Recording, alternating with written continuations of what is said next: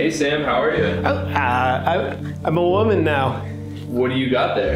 Oh, this uh, this is nothing. I just put it with the others. Is that your luggage? Of, of course it is. Well, it looks like someone else's name on the bag tag. Uh, this is just misinformation. Yeah, about that. You're a Biden admin official, but you keep stealing other people's luggage.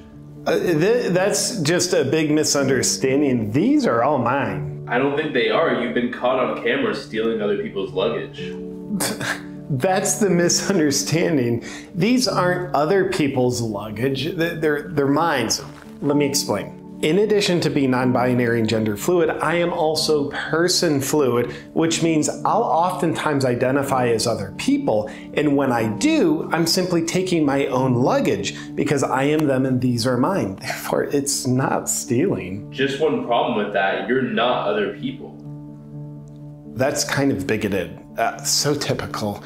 It's sentiments like that that make up so much hate that us in our community face every day. When you deny my reality, you are literally inflicting violence on my community. What happens to the other person when you identify as them? I don't know. I've never really thought about that before. But it's not that important because they don't matter when the world revolves around me. That sounds like narcissism. No, I'm a protected class, so instead of narcissism, I prefer the term bravery. Being a protected class is kind of like being an endangered species. It's great. You're a high ranking nuclear official. People wonder if you actually know what you're doing. Should they be concerned? No, not at all. I am very well qualified in nuclear energy. It's actually pronounced nuclear, not nuclear. Oh, I didn't know that. Well, I'm pretty fluid with how I spell and pronounce things. Kind of like being illiterate. Exactly. But anyway, I can assure you, I only got this job based on my experience in the field of nuclear energy, kink, fuel disposal, and puppy fetishes. Do you have a degree in nuclear energy? Absolutely. From what university? It was homeschooling. So, a couple weeks after you were first caught stealing, you were giving a spanking seminar at a kink conference. Yeah. The job never stops. A lot of important work to be done. I don't know if you understand the gravity of the situation. You've been charged with a felony. They like to discriminate against the gender fluid. Discriminating against thieves is what they're doing. No, it's clearly discrimination because I'm gender fluid. You don't think you were charged with a felony because you committed a felony? No, they don't charge people with felonies for things like that, only to spread hate in the LGBTQ community. Weird how that works. Is that your dog? Sure is. What do you do with that dog? What don't I do with that dog? I'm a man now. That's pretty life changing for me to hear. I figured it would be. On another note, in the past, you defended a male prostitution website when it got taken down. While defending it, you're on record saying many LGBT youth engage in sex work just to survive. Yeah.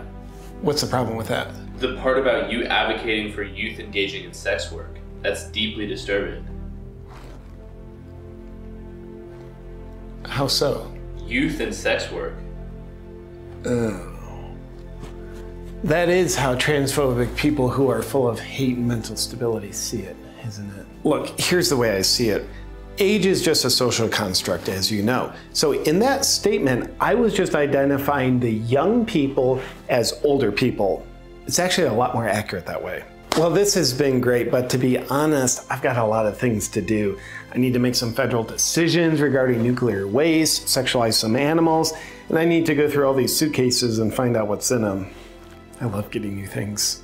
Just for the record, you do know it's illegal to steal people's things, right? You still don't get it, do you? Look, I'm a person who has an attraction to other people's possessions.